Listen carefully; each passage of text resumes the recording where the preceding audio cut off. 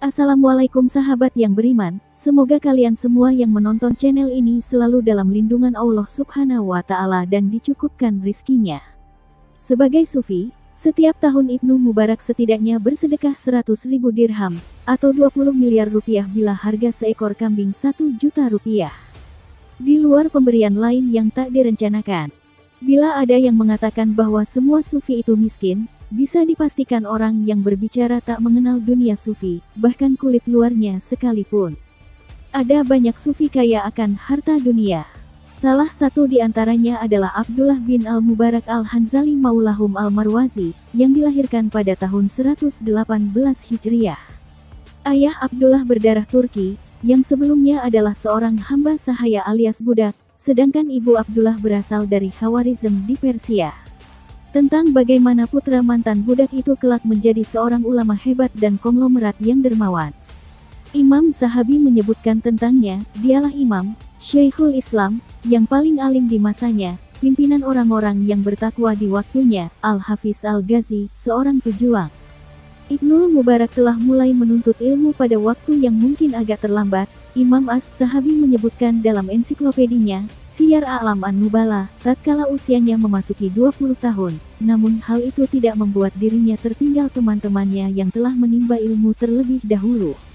Guru tertua Ibnul Mubarak adalah Al-Alamah Al-Muhadis Rabi, bin Anas Al-Khursani, salah seorang paling berilmu di masanya.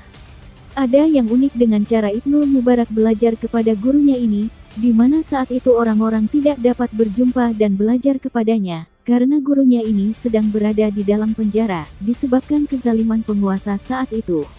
Maka Ibnul Mubarak bersiasat agar bisa mendengarkan dan meriwayatkan hadis darinya, dan ia pun berhasil meriwayatkan kira-kira 40 hadis darinya. Al-Abbas bin Musab meriwayatkan dari Ibrahim bin Ishaq al-Bunani, ia meriwayatkan bahwa Ibnul Mubarak berkata, Aku telah belajar kepada 4000 guru, dan aku meriwayatkan hadis dari 1000 guru. Al-Abbas bin Musab berkata, maka aku pun menelusuri guru-guru yang ia riwayatkan hadis dari mereka, sehingga terkumpul bagiku 800 gurunya. Subhanallah. Seorang ahli hadis, Hamad bin Usamah, berkata tentang Abdullah bin Al-Mubarak, Ibnul Mubarak di kalangan ahli hadis adalah serupa dengan Amirul Mukmin penguasa umat di kalangan manusia secara umum. Pada suatu waktu Khalifah Harun al-Rashid berkunjung ke kota Rakah terbuat dari kayu, Seraya berkata keheranan, ada apa ini? Orang-orang yang di sekitarnya berkata, ada seorang alim ulama dari Khurasan yang datang. Maka dia pun berkata, demi Allah, inilah yang dikatakan kerajaan, bukan kerajaan Harun yang tidak mengumpulkan manusia, kecuali dengan pasukan dan hulu balang. Ibnul Mubarak adalah orang yang memiliki sifat tawaduk, rendah hati, dan jauh dari kesombongan. Dikisahkan pada suatu hari bahwa Abdullah bin Al-Mubarak menghadiri majelis hadis gurunya, Hamad bin Zaid, maka para penuntut hadis itu berkata kepada Hamad, mintakan kepada Abi Abdirrahman, yakni Abdullah bin Al-Mubarak untuk meriwayatkan hadis kepada kami. Maka sang guru berkata, Wahai Aba Abdirrahman riwayatkanlah hadis untuk mereka, sesungguhnya mereka telah memohon kepadaku hal ini. Abdullah bin Al-Mubarak tertengun dengan hal itu seraya berkata, Subhanallah, Wahai Aba Ismail kun ya Hamad bin Zaid bagaimana mungkin aku meriwayatkan hadits sedang dirimu hadir di sini. Mendengar itu Hamad bin Zaid berkata, aku bersumpah kepadamu agar kamu melakukannya. Maka karena sumpah gurunya ini, terpaksa Ibnul Mubarak menurutinya, dan ia pun berkata, ambillah, telah meriwayatkan kepada kami Abu Ismail Hamad bin Zaid, tidaklah ia meriwayatkan satu hadis pun pada saat itu kecuali hadis-hadis yang didengarnya melalui jalur gurunya Hamad. Abdullah bin Al-Mubarak memiliki suatu kebiasaan yang agak aneh menurut teman-temannya, di mana ia lebih menyukai duduk sendirian di rumahnya daripada ngobrol bersama teman-temannya. Itu membuat mereka bertanya, apakah kamu tidak merasa kesepian?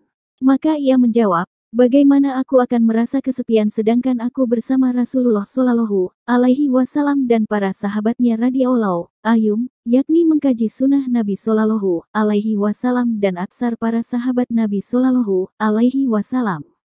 Selain keilmuannya yang matang, Ibnul Mubarak adalah sosok alim ulama yang lembut hatinya. Nuaim bin Hamad menceritakan, Apabila Ibnul Mubarak membaca buku-buku Raka IQ tentang kelembutan hati, maka seakan-akan dia adalah seekor lembu yang disembelih, karena menangis, sehingga tiada seorang pun yang berani bertanya sesuatu kepadanya kecuali akan didorongnya. Nuaim bin Hamad juga berkata bahwa pada suatu hari seseorang berkata kepada Ibnul Mubarak, Aku telah membaca seluruh Al-Quran dalam satu rakaat. Ibnul Mubarak berkata kepadanya, akan tetapi aku mengetahui seseorang yang semalam suntuk mengulang-ulang Al-Hakumutakastur sampai fajar terbit, dia tidak mampu untuk melampauinya. Orang yang dimaksud olehnya adalah dirinya sendiri. Suwaid bin Said berkata, aku melihat Abdullah bin Al-Mubarak di kota Mekah. Dia mendatangi sumur Zam-Zam dan mengambil segelas air, kemudian ia menghadap ke Ka'bah dan berkata, Ya Allah, sesungguhnya Ibnu Abil Mawal, yakni Ibnu Mu'amal, meriwayatkan kepada kami. Dia berkata bahwa Muhammad bin Munkadir meriwayatkan kepada kami, dari Jabir dari Rasulullah Shallallahu alaihi wasallam bahwa ia bersabda, air zam-zam itu sesuai dengan niat meminumnya.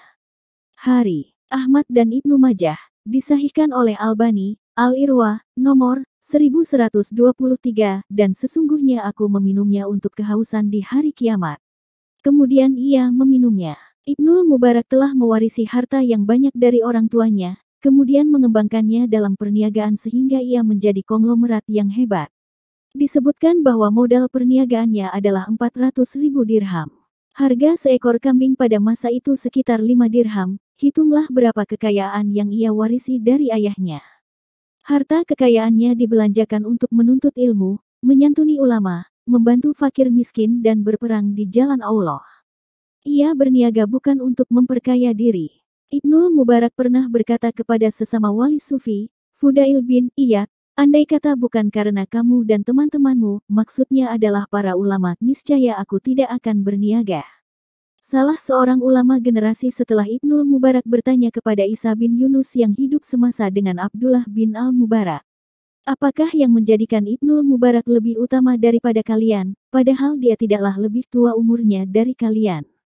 Isa bin Yunus berkata, hal itu dikarenakan kalau dia datang bersama budak-budaknya dari Khurasan membawa pakaian-pakaian yang baik-baik, ia menyambung tali persaudaraan dengan para ulama dengan barang-barang tersebut, berbagi dengan mereka, sedangkan kami tidak mampu berbuat itu.